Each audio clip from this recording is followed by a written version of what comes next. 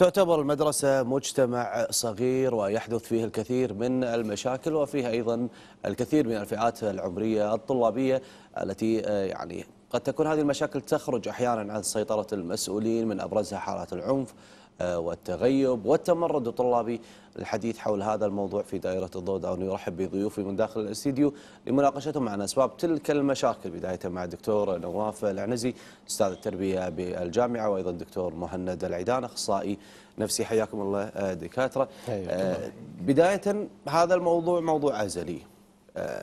بدا بدأ يظهر بالفترة الأخيرة بشكل كبير جدا المشاكل التي تظهر عندنا في المدرسة. آه، لو بنعرف أبرز المشاكل السلوكية دكتور اللي قاعد نواجهها الآن في يومنا هذا في 2017 في مدارس دوله الكويت شنو هي؟ حسب التقرير اللي طلعنا عليه آه، أول مشكلة سلوكية هي العنف آه، التسرب الصحة النفسية المشاكل الصحية. هذه أبرز المشاكل اللي ذكرها التقرير وزارة التربية. العنف. نعم. تزايد يا دكتور شلون تشوفه؟ ليش؟ هل هو تزايد موجود بالمجتمع انتقل إلى المدرسة؟ هل هو من المدرسة انتقل إلى المجتمع؟ شلون قاعد تشوفه؟ أول شيء صبح عليكم بالخير وعلى الله المشاهدين. موضوع العنف آه، بالتالي آه، أبنائنا أو الأطفال اللي في المدرسة أو آه، خاصة اللي كانت الأعلى درجات العنف هي كانت تظهر عند أطفال المرحله الابتدائيه. وبالتالي ال- اليوم طلبة المدارس هم انعكاس حق المجتمع. آه، غالب المجتمع اليوم الأجواء اللي قاعد تثار فيه آه، هناك نوع من تعزيز آه، نبرة الصراع ال- العنف اللفظي سواء كان داخل الأسرة سواء كان داخل الفريج سواء كان ما بين الأصدقاء نفسهم. إذا خذينا اليوم ال- يعني إذا خذينا طفولتنا وطفولة اليوم إحنا في السابق كنا نطالع أغلب أفلام الكرتون كانت عبارة عن شغلات فيها جوانب إنسانية. فلونا هايدي سندباد الأشياء اللي عاشها ذاك الجيل. اليوم أغلب الكرتون اللي قاعد يشوفونه الأطفال هو كرتون يعزز الصراع. دائما في قوتين وقوتين هذيل المتصارعتين وعصابات. يعني قبل كانوا لما يحطون القوة يحطوا قوة تمثل الخير وقوة تمثل الشر ينتصر الخير على الشر. اليوم لا هي عبارة عن عصابات. وحتى صارت الألفاظ السيئة ما بين أفلام الكرتون. قاعد أتكلم عن شريحة الابتدائي بالتأكيد آه، يعني تاثير تأثرهم في الميديا بشكل راح يكون جدا عالي. إذا خذينا الفئات الأكبر المتوسط والثانوي كذلك قاعدين ومعاهم أفلام ال- ال- الأكشن، أفلام الجريمة، أفلام العنف، كلها قاعد تعزز هذا المفهوم إن العنف هو قيمة تاخذ فيه حقك. وإذا ما كنت ذيب كلوك الذياب وإذا ما كنت ما أدري إيش راح يصير في كذا. فصار في دفعة لهذا الاتجاه. فأعتقد إن هذا واحد من الأشياء اللي قاعد تزيد مستوى العنف عند الآخرين. طيب إحنا يمكن ال- الإخوان بالإعداد عدوا مثل هذه الإحصائية وهذا التقرير عن المشاكل الموجودة في مدارس الكويت. خلونا نشوفها. دكتور بعد هذا التقرير الآن اتفقنا على أن العنف بدات ظاهره موجودة وسمة موجودة في كل مدارس دوله الكويت، هل تفرق ما بين الابتدائي عن المتوسطه عن الثانوية؟ عادة ما نقتنع أن الثانوية هم المرحلة المراهقة أكبر، تجد فيها ظواهر عنف نوعا ما لفظية آه، ايا كان عنف بأشكاله، لكن موجودة بالابتدائي عندنا؟ ما أتوقع أنها موجودة في الابتدائي أو تكون نسبتها جدا قليلة مقارنة في المراحل العمرية المتقدمة آه، لطبيعة ال- ال- ال- الإنسان الخروج من مرحلة الطفولة إلى الدخول في مرحلة البلوغ. في المرحلة هذه دائما ما يكون الطالب يحاول أن يعبر عن نفسه بطريقة آه، قد تكون آه، فيها عنف، يحاول أن يبرز نفسه، يحاول أن يقول أنا موجود. وفي الغالب تكون القيم والمفاهيم التي تؤطر شخصيته لا تنسجم وثقافة المجتمع أو القيم أو القيم المجتمع. فأتوقع أن من من تكون بارزة أكثر في المرحلة المتوسطة وكذلك في المرحلة الثانوية للطبيعه الطبيعة الانفعالية، فالطالب في هذه المرحلة يكون منفعل أكثر يحاول أن يعبر عن نفسه بطريقة قد لا تليق وقيم المجتمع، لذلك تجدها منتشرة في المتوسطة والثانوية، بينما في مرحلة الابتدائي تكون نسبتها جدا قليلة مقارنة بباقي المراحل. دكتور مهند المشكلة آه، مدرسية فقط ولا مجتمعية أكبر؟ وبالتالي مثل ما قلنا في البداية إن المدرسة هي جزء من المجتمع. آه، وبالتالي ال- ما يحصل داخل المدرسة هو جزء مما هو موجود في المجتمع. لكن بيئة المدرسة ربما أحيانا تساعد. تساعد على هذا ان في منافسة أعلى. في نوع من ال ال الاحتكاك الدائم بين الطلبة وما بين مجاميعهم سواء كان داخل الأنشطة الصفية ولا حتى داخل الساحات المدرسية ولا في حصص الألعاب وغيرها. يكون في احتكاك عالي. وأنا ما أختار ربعي لكن داخل المدرسة ولا داخل داخل عفوا الأسرة ولا داخل ربعي وكذا أنا أختار الأشخاص اللي أنا أرتاح معاهم فيقل بيني وبينهم الخلاف والعنف والمشاكل. اللي ممكن تكون ظاهره بشكل كبير. لكن داخل المدرسة أنا مفروضين علي الطلبه اللي معي في المدرسة آه، داخل الصف مفروضين علي الطلبه اللي في ال- ال- الساحة المدرسية مفروضين علي الطلبه اللي في الفرصة. فممكن يصير احتكاك بشكل أكبر وذاك هني يعني يمكن عندنا إحنا واحدة من الأشياء اللي نتكلم عنها بشكل كبير ودائما يصير عليها مشاكل اللي هي قضية التنمر. وهذه. آه، ظاهرة ربما يعني إحنا نشوف حتى يعني عملت عليها كثير من الأفلام آه، في كتبت فيها روايات بعض يعني حتى في قصة مشهورة أرجوك ما تسخروا مني كتبت كتبتها واحدة روائية. تتكلم عن قصتها لما كانت صغيرة شلون كانت تتعرض حق التنمر ليه ما كبرت وشلون كانت يعني تمر في معاناة يومية من بداية اليوم الدراسي لنهاية اليوم الدراسي انها ما تختار ربعها لكن مع مجتمعها الشخصي اللي هي مختارتها بإرادتها تكون آه، المشاكل ظهورها أقل. هذا إذا خذينا موضوع العنف. الآن عندنا مشاكل والتقرير اللي أشار لها، اليوم عندنا مشاكل ربما تكون صحية، نتكلم من الجانب النفسي. الطلبة عندهم شيء نسميه إحنا قلق الانفصال. قلق الانفصال هو خوف. الطفل من بعده عن مصدر الرعاية الأم والابو والأسرة. آه، وهذا ما يظهر بشكل كبير في حالات ال- عفوا في حالات الطلاق والانفصال ما بين الوالدين في يعني ينعكس على الابن.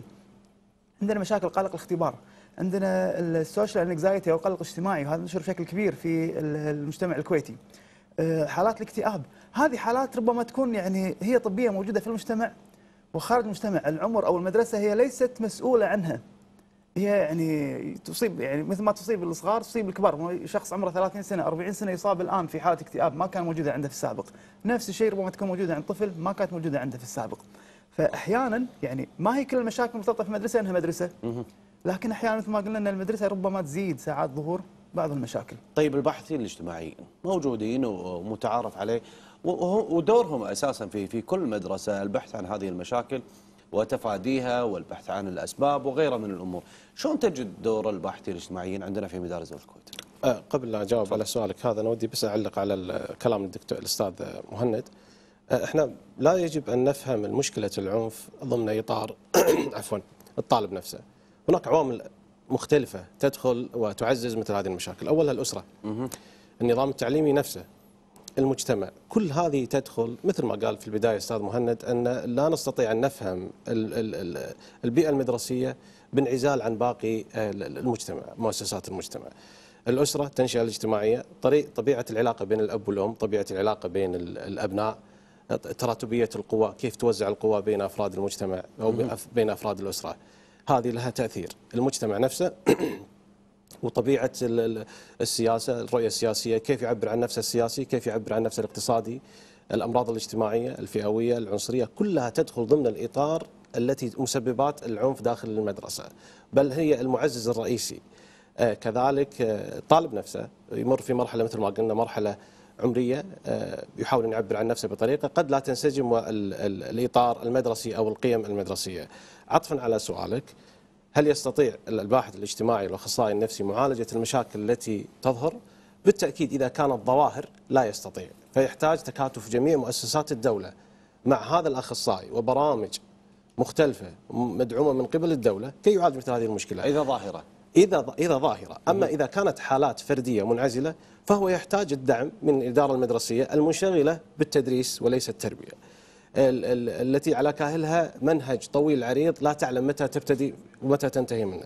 فهنا مشاكل كثيرة ومتنوعة فصعب إنك أنت تعالجها فقط شخص واحد يتحمل المسؤولية هذه، أنا ما أتوقع أن الباحث الاجتماعي والأخصائي النفسي لديه الإمكانات أن يعالج مثل هذه الظواهر لأنها أصبحت ظاهرة. يتلمسها على الأقل بالتأكيد هذا التقرير هو أكبر دليل على أن الباحثين الاجتماعيين أو الأخصائي النفسي اعطى أعطانا انطباع عن نوعية المشاكل، فاولا تكلموا عن المشاكل السلوكية وأولها كان العنف، عدم الانضباط، آه، اتلاف الأثاث، ظاهرة تسمى الفانداليزم، آه، التعبير عن النفس بطرق الحين صار في ارتباط بين العنف والرجولة، فكلما كنت عنيفا كلما كنت أكثر رجولة، وهذا مفهوم. خاطئ، هذا مفهوم خاطئ، فيعني يبدو لي يجب إعادة خلخلة القيم وإعادة بنائها من جديد وهذا يتطلب تعاون جميع مؤسسات الدولة. لا يمكن المدرسة أن تعمل منفردة عن باقي مؤسسات الدولة. لا يمكن أن نعطي ال- ال- الطالب أو المتعلم بيئة مدرسية مثالية ومن ثم يخرج إلى مجتمع غير مثالي فما يستقيم. يجب أن يكون ال- المدرسة تمثل المجتمع والمجتمع يمثل المدرسة فهما يتأثران ببعضهما البعض. تمام. دكتور مهند هل المعادلة عادلة؟ إن صح التعبير لما نقول والله ولي الأمر يبحث عن مدرسة خاصة؟ ليتفادى كل هذه المشاكل السلوكية لدى أبنائه، والله أنا اسجلهم مدرسة خاصة وأرتاح ال- النظام عندهم أكثر، الانضباط عندهم أكثر وغيرها من الأمور اللي ما هي موجودة في مدارس الحكومة. شنو السبب؟ هل والله فعلوا الدور التربوي قبل التعليمي؟ هل فعلوا دور الباحث الاجتماعي لتلمس هذه المشاكل قبل أن تكون ظاهرة؟ هو بداية ما نقدر نفصل ما بين الجانب التربوي والجانب التعليمي. آه، شكل المدرس داخل القاعة التدريسية وهو قاعد يدرس حتى لو كان قاعد يدرس رياضيات هو بالنهاية قاعد يقوم الآن بدور تربوي. آه، ولذلك دائما عندنا شيء يسمونه التربوي يمكن الدكتور أشطر مني فيه اللي يسمونه المنهج الخفي للمدرس اللي هو طريقة تعامله مع الطلبة، شكله، آه، طريقته في السلام عليهم، طريقته لما تصير مشكلة عند بعض الطلبة، تعليق على بعض ال- ال- ال- إجابات الطلبة، هذه كلها عبارة عن تربية، هذا قاعد يمارس عملية التدريس وقاعد يشرح معادلة رياضيات. لكن في نفس الوقت هو قاعد ينقل قيم تربوية. فبالتالي يعني ما في شيء اسمه والله الحين إحنا قاعد هذا دور تربوي واحد اثنين ثلاثة أربعة خمسة ستة إحنا قاعد نسوي تعليم أو العكس فبالتالي هي عملية متكاملة مع بعض. مثل دور الأبو مع عياله. مو شرط يصير لهم محاضره يناديهم ويقول لهم والله ترى من قيم الكويت واحد اثنين ثلاثة. لازم نسوي كذي لازم ما نسوي كذي. ال- الجانب التربوي ينتقل من خلال الموديلنج المعاشرة. فتصير في نوع من النمذجة حق الشخص الأمامي. فأنا يمكن يصير في قدوة يعني خلينا يعني. مثل ما نقول بالعربي فتنتقل القيم من خلال مشاهدتهم حق المدرس. الآن اختيار الناس إلى مدارس خاصة ربما أحيانا في بعض التفضيلات يعني حرص الناس على اللغة الإنجليزية إن أنا أبي ولدي يكون يعرف إنجليزي. آه هذه واحدة من الأشياء. الشغلة الثانية اللي هو مثل ما تفضلتي لقضيه ال- الانضباط الزايد. إذا أخذنا بعض المدارس اللي ماشية على سيستم آه، يعني دقيق جدا آه، بسبب قلة الأعداد، اختيار ال- ال- المدرسين بطريقة يعني نوعية آه، أفرزت يعني نوع من التدريس يختلف عن بقية أو عن التعليم العام أو التعليم الحكومي.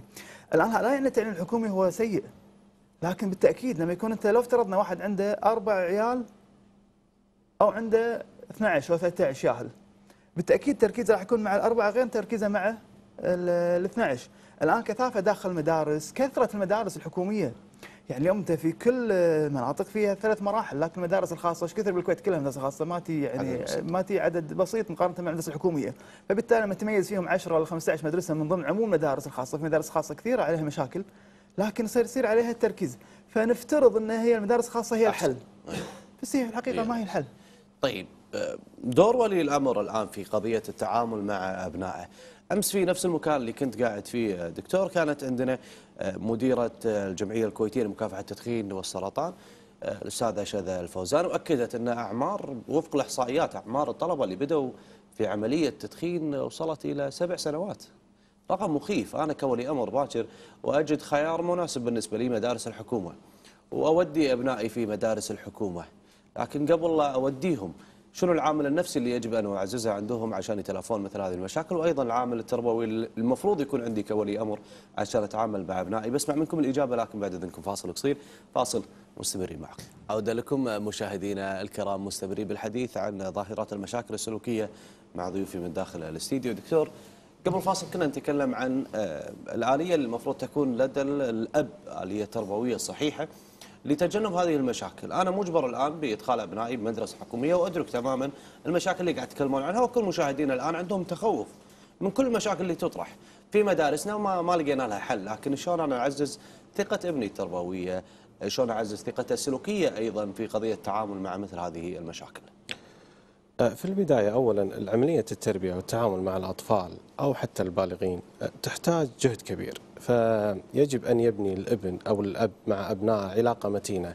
من خلال فهم أن دائرة الابن آه، كلما كبر وتقدم في العمر تصير يعني كبيرة. فلا يجب أن يتركها تخرج بطريقة سلسة من دائرته واهتماماته. فلا يجب أن يضع على على ابنه دوائر كثيرة تمنع من الخروج. يجب أن يجرب يجب أن يخرج. مثال عطني مثال دكتور. الابن أول ما يولد صغير يبي دائما أمه وأبوه يكون راضين عليه.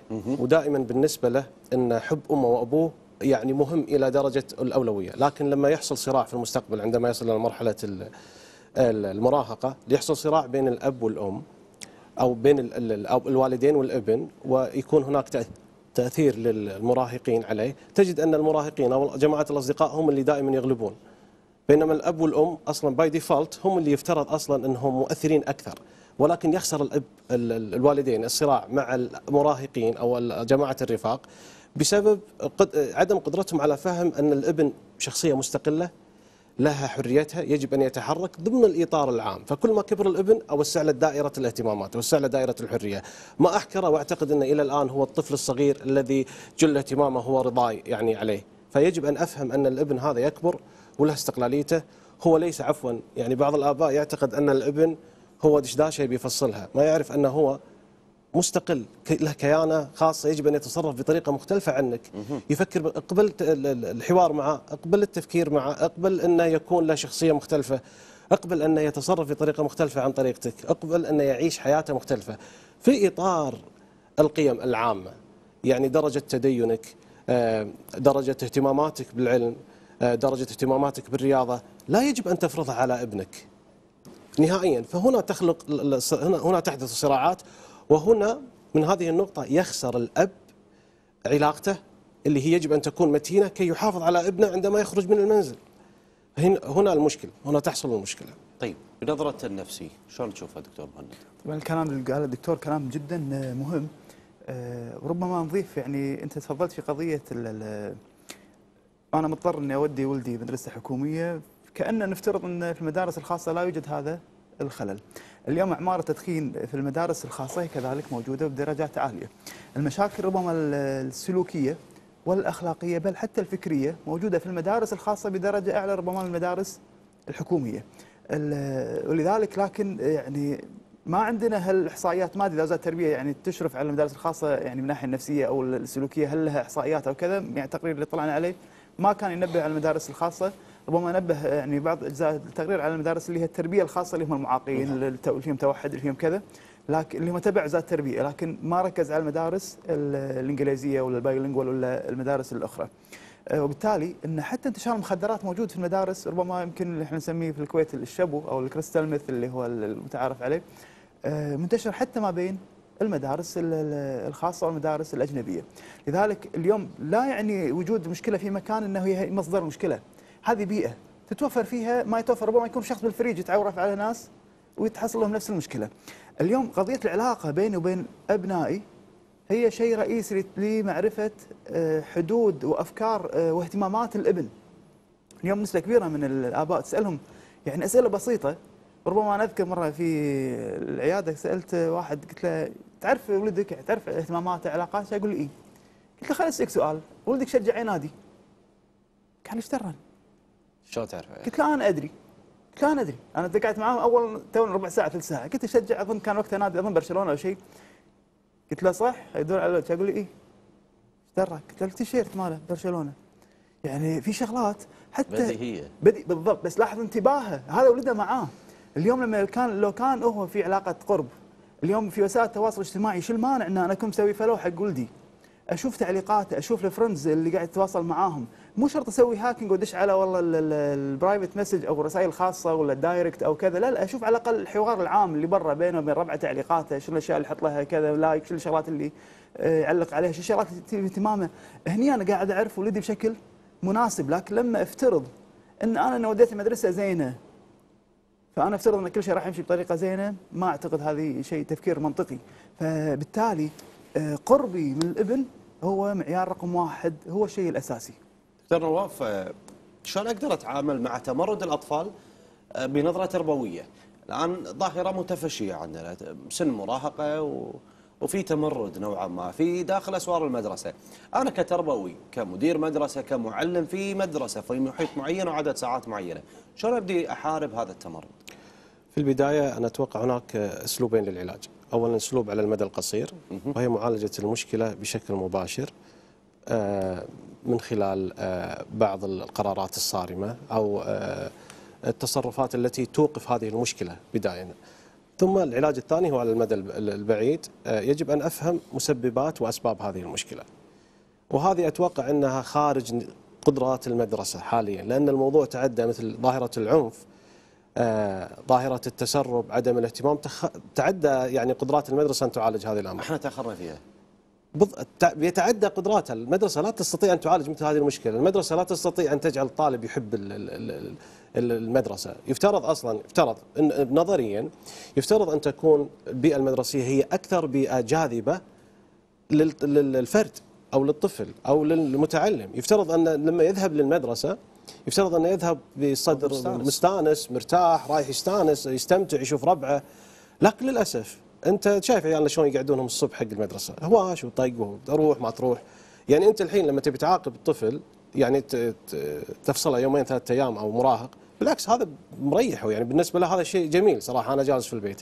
بينما مثلا أذكر لك في فنلندا إذا يبون يعاقبون آه يعني أكثر عقاب صارم على المتعلم هو حرمانه من يعني الذهاب للمدرسة يومين أو ثلاثة أيام. يعتبر بالنسبة لهم هذا مصيبة كبيرة. الفصل يومين. الفصل يومي يعتبر مصيبة. مو لأنه خايف من الفصل لأنه يضيق خلقه. يعني المدرسة يفترض أن تكون بيئة متنفس. لكن إحنا عندنا العكس. المدرسة أصلا يذهب لها طالب هو. فأنت كيف تأثر فيه وهو أصلا داش المدرسة هذه وهو ضايق خلقه؟ يرى أنها بيئة غير جاذبة بيئة تقليدية غير تفاعلية. هو متفاعل مع الأجهزة. ال- ال- الأجهزة الجامدة يتفاعل معها يروح مع ربعة متفاعل يقعد مع اهله متفاعل يروح يطلع بالليل متفاعل. لما يدش المدرسة هو فقط جالس ومتلقي فهو هنا مصيبة. هنا مص- ما له أي دور ما يشعر انه هو عايش على الهامش داخل المدرسة هو يعيش على الهامش متلقي فقط مثل المسجل يسجل فيه المعلومات ومن ثم يأتي الاختبار ومدى قدرته على حفظ المعلومات واسترجاعها يعني انه شاطر وممتاز وبطل. وهذه هي المشكلة. إبداع ما في تبني مواهب ما في. فتجد دائما أن الطلبة اللي يجلسون آه، في الأمام هم الطلبة اللي دائما ننظر لهم نظرة على أساس أنهم ناجحين في المجتمع بينما الطلبة الذين في الخلف هم الطلبة اللي إيش؟ الطلبة اللي يعني السيئين أو الطلبة اللي يعني أقل مكانة. ومع أن ترى الطلبة اللي في الخلف في الغالب خرج منهم المبدعين. والمفكرين. هذا لا يعني إن الطلبه اللي في الأمام ما- يعني لكن ال- النظام كله التعليمي في نوع من الظلم لجميع طرق التعليم أو أساليب التعليم. بالإضافة إلى إنه يعني نظام تقليدي يحتاج إعادة نظر في السياسات التعليمية وأسلوب التعليم. دكتور كلامك فيه في نوع من الإحباط. يعني المدرسة الآن لا هي في قضية تعليم وما لا تملك أصلا آه، القدرة على التعامل مع كل هذه الظواهر الحاصلة عندنا في المدرسة. المجتمع لا هي في قضاياه وأبعاد كل هذه القضايا المطروحة في المجتمع. معناته المدرسة راح تكون في في تزايد آه، في تزايد من السلوك ال- ال- ال- المرفوض بالمجتمع. آه، ما حد راح يفضل على الأقل يناقش مثل هذه القضايا أو يتصدى لها. فالآن السؤال بعد كل هذه السنوات من تراكم هذه الظواهر الحل ننطلق فيه من أين تحديدا دكتور؟ هو ربما يعني شيء مهم نركز عليه أو لازم ندركه في شغلة في الإحصاء في عدد ال- ال- ال- الأشياء الحالات اللي يمكن أمس أو قريناها في التقرير. ربما الرقم يخرع 85 ألف آه، قضية تم التعامل معها. لما نقرأ التقرير 85 ألف آه، لا يعتبر عدد كبير. في ظل تزايد أعداد الطلبة السنوي في المدارس، يعني المجتمع قاعد ينمو، وأنا ما أقدر أجيب قبل عشر سنين عدد الطلبة في الكويت خلينا نفترض آه، رقم أقل بالتأكيد من عدد الطلبة الآن لأن المجتمع قاعد يزداد وقاعد ينمو. آه، فبالتالي طبيعي انه تزداد المشاكل فيه. الآن صار الانتباه أكثر إلى المشاكل من قبل، قبل يعني في ايامنا إحنا لما كنا طلبة كان في أخصائي اجتماعي ربما كان دوره هامشي جدا جدا جدا ربما دوره اللي هو فقط القيام بعملية والله اتصال على ولي الأمر آه، يعني ليش تأخر عذر ما أدري إيش الغياب الأشياء اللي هي أكثرها أعمال إدارية مش هي من صميم عمله كأخصائي اجتماعي. اليوم في أغلب المدارس ما كان كلها فيها أخصائي اجتماعي وأخصائي نفسي، يعني هذا الدور استحدثته الوزارة جديد وهذا جزء من أساليب حل المشكلة هذه. إن أضافوا أخصائي اجتماعي غير الأخصائي آه، سوري أخصائي نفسي غير الأخصائي الاجتماعي كان موجود في السابق فصار اثنين في كل مدرسة. فبالتأكيد اثنين يراقبون أو يلاحظون المدارس صار في وعي أكثر. ربما اليوم الناس أغلبها كمجتمع بدأ يدرك المشاكل النفسية والمشاكل السلوكية بشكل أكثر وضوحا من إدراك الجيل السابق. فبالتالي أي مشكلة سوي عليها تركيز راح أصيد أفرادها بشكل أكثر من السابق. مو لأن عاد زاد العدد لكن لأن أنا انتبهت أكثر حق وجود بعض النماذج اللي عندي. فلذلك ما نحول القضية لتشاؤم تجاه ال- ال- المدرسة وأن إحنا في انحدار مستمر. لا بالتأكيد لا. ولذلك هل المدرسة قادرة؟ بالتأكيد قادرة. واليوم ما زال هذا يعني إحنا عندنا 85 ألف مشكلة. آه، أغلب مشاكل ما ما تشكل عائق يعني ما هي جريمة. يعني ما شفنا يعني نسبة جرائم حصلت داخل المدرسة. يعني ربما عدد الجرائم يكون طالب مثلا يبيع مخدرات حق الطلبة هذه جريمة.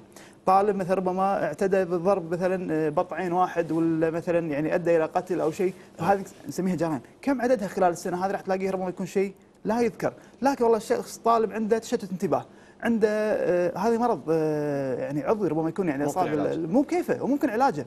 آه، فبالتالي هو حاله عندهم. لا ما له علاقة لا المدرسة لها علاقة ولا البيئة لها علاقة هذا شيء من الله مرض. آه، ربما إنسان أصاب اكتئاب آه، هذا شيء من الله. آه، ليس له علاقة ربما يعني له دور البيئة لكن كذلك العامل الوراثي والجيني له مثل طرف لو فرضنا الطفل عنده سكر. نعم. يقول والله من المدرسة ليش صار الياهل عنده سكر؟ صعب نحمل المدرسة أو وزارة التربية كل مشاكل الطلبة، فلذلك حالات الواحد يعني ينظر بنظرة ما بين إدراك المشكلة ووضع خطوات لعلاجها، واعتقد الوزارة يعني شغالة اللي قاعد تحصي هالمشاكل مش هدف الإحصاء إلا إنها بهدف حلها والتعاون معها. يا رب نجد حل سريع لمثل هذه المشاكل في مدارسنا آه، عساكم على القوة كل الشكر لكم ضيوفي من داخل الاستديو الدكتور نواف العنزي أستاذ التربية في جامعة الكويت وأيضا دكتور مهند العيدان أخصائي نفسي. شكرا على تلبية الدعوة. وحضوركم معنا في الاستديو وابداء هذا الرأي في هذا الموضوع تحديدا. اذا هي آه، ما ما نبيها تصعب المسألة لكن نحتاج إلى وقفة آه، وطنية وقفة جادة نوعا ما لمحاربة هذه المشاكل وهذه السلوكيات اللي بدأت تظهر عندنا في مدارسنا دولة الكويت. وبالتأكيد إذا تساهلنا في هذا الموضوع وما أعطينا أي اهتمام سنجدها وبشكل مبسط منتشرة في مجتمعنا الكويتي.